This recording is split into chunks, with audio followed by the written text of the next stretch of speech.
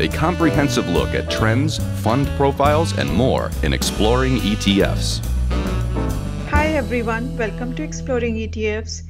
I'm Neena Mishra, and today we are talking about clean energy ETFs, which have been soaring over the past few days.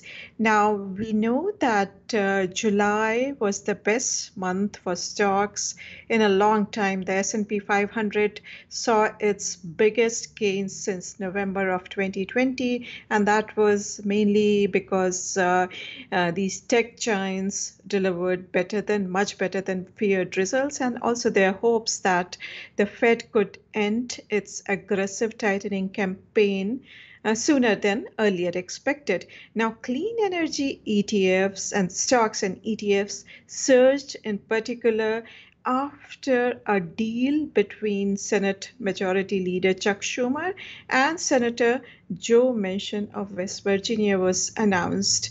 They agreed on an Inflation Reduction Act, which aims to boost domestic energy production and uh, reduce carbon emissions in the US. This uh, bill is expected, uh, the Senate is expected to uh, vote on this bill uh, this week.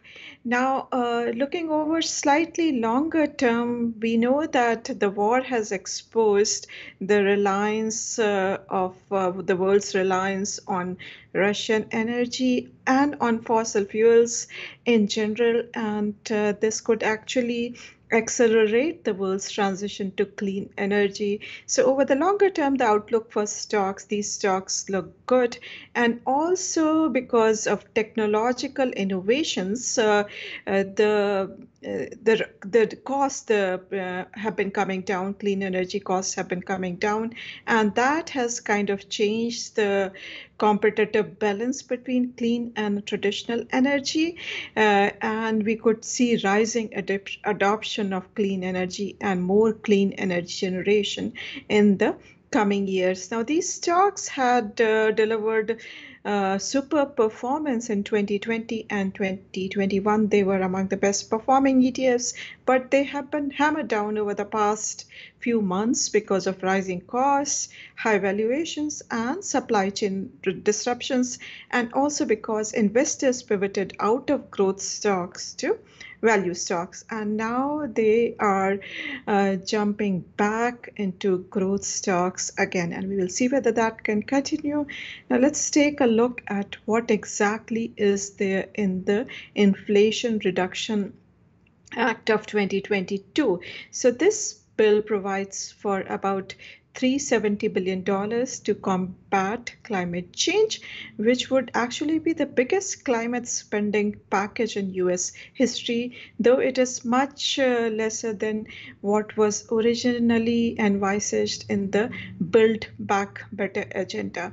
Now, this uh, act, this particular bill includes tax credits for uh, solar panels, wind turbines, batteries, and critical minerals which are required for clean energy, energy generation, tax credit for people who buy electric vehicles, electric cars, and hydrogen fueled vehicles, and also tax credits for people who install rooftop solar, electric, uh, HVAC, etc., inside their homes. Now, we will take a look at three popular clean energy ETFs that have surged uh, lately. So the first one I'm highlighting is by iShares. Uh, the ticker symbol is ICLN. It invests in global companies uh, in clean energy.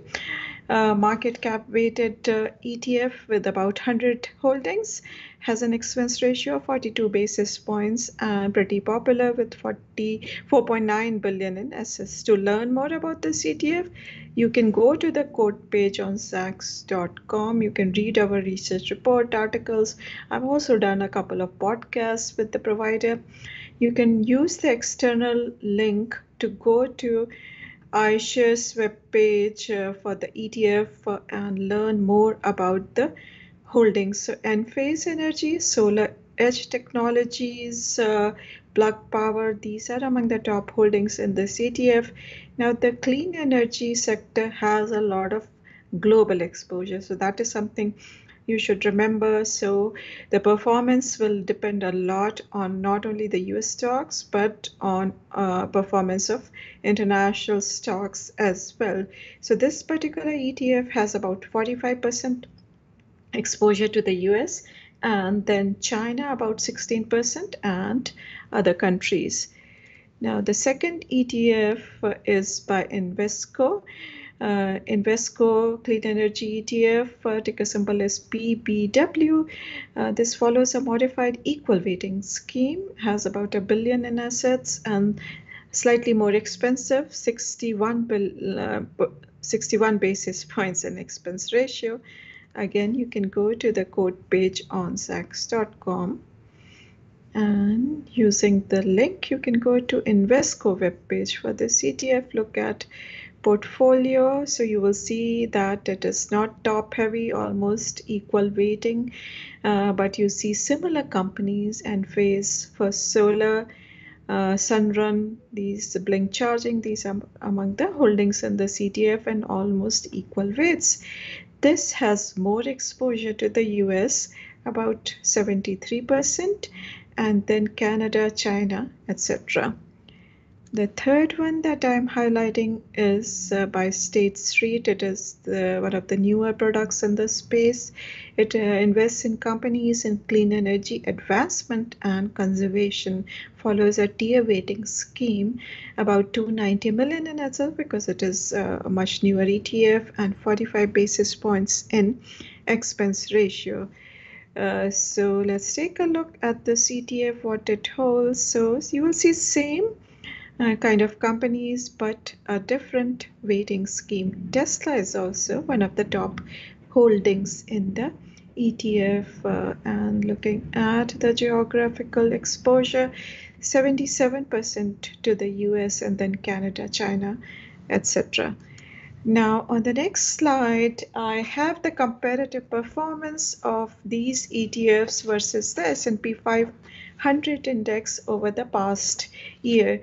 Uh, so you will see that Invesco product underperformed significantly, whereas the other two had uh, somewhat sim similar performance uh, to the S&P 500 index, though they were more volatile than the S&P 500 index. Now, looking at the past month performance, the Invesco product was the best performer, up about 23%.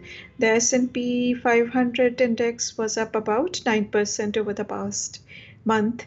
And the other two products by iShares and State Street, they were up about 17, 18%.